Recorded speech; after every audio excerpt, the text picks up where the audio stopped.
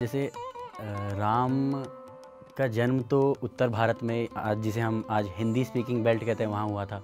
मगर उन्हें माना पूरे विश्व में ही जाता है।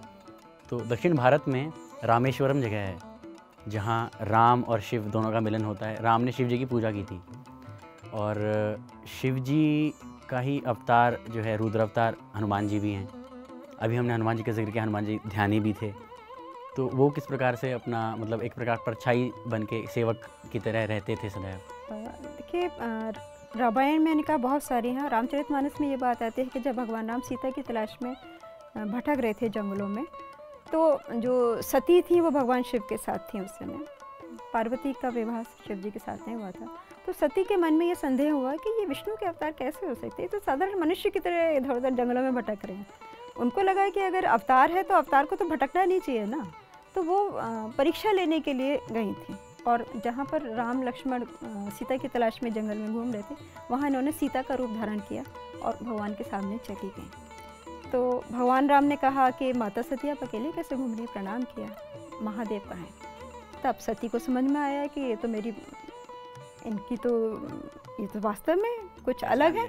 मुझे पहचान गए, मैं तो सीता के वेश में खड़ी थी, तब उन्हें समझ में आया कि तो विष्णु जी हैं तो लीला कर रहे हैं। कुछ संसार के सामने एक उदाहरण प्रस्तुत करने के लिए सारा खेल ये रच रहे हैं। लेकिन जब वो वापस आए तो शिव जी जो थे, वो समाधि में चले गए और उन्होंने अपने वाम से उनका आसन हटा के सामने रख दिया कि तुमने सीता का रूप धारण के लिए अब तो मेरी माँ बन गई, अब तो मेरी पत्नी नहीं बन सकती। ये भगवान शिव की महानता है, देवादिदेव महादेव।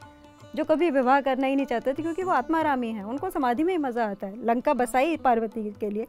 लेकिन लंका में कभी उन्होंने निवास नहीं किया। कैलाश पर रहते हैं, समाधि में रहते हैं, भक्तों की रक्षा करते हैं, जो चीज़ सृष्टि के लिए नुकसान पहुँचाती है धतूरा है, जो भी चीज़ें जहरीली हैं। जब सागर मंथन में जहर निकला तो उन्होंने अपने कंठ में धारण कर लिया। सृष्टि के मंगल के लिए जो हमेशा त्याग, तपस्या, संयम की मूर्ति हैं, वो देवादेव महादेव हैं। सीता का रूप सती ने धारण किया, इसलिए सती उनकी पत्नी नहीं रही। वो उनकी माँ बन गई। और इतना उनका प्रगाढ़ प्रेम है, विष्णु जी, लक्ष्मी जी में, कि जब वो अवतरित हुए राम सीता के रूप में तो उन्होंने हनुमान का रूप धारण किया। बच्चे बन करके सीता जी के माता माता माता पीछे पीछे घूमते हैं। जब आप दीना मरियम वाली पढ़ेंगे तो भगवान राम ने जंगल में सीता जी को निवास करा दिया था। वो अयोध्या में मेडिटेट ध्यान में रह, रहते थे, सीता जी अपनी कुटी में रहती थी। और सिर्फ़ हनुमान ही थे, वही देख पाता कि दोनों की सूर्य निकल रहे हैं और दोनों एक अकेले जंगल में जा रहे हैं, सूक्ष्म शरीर से।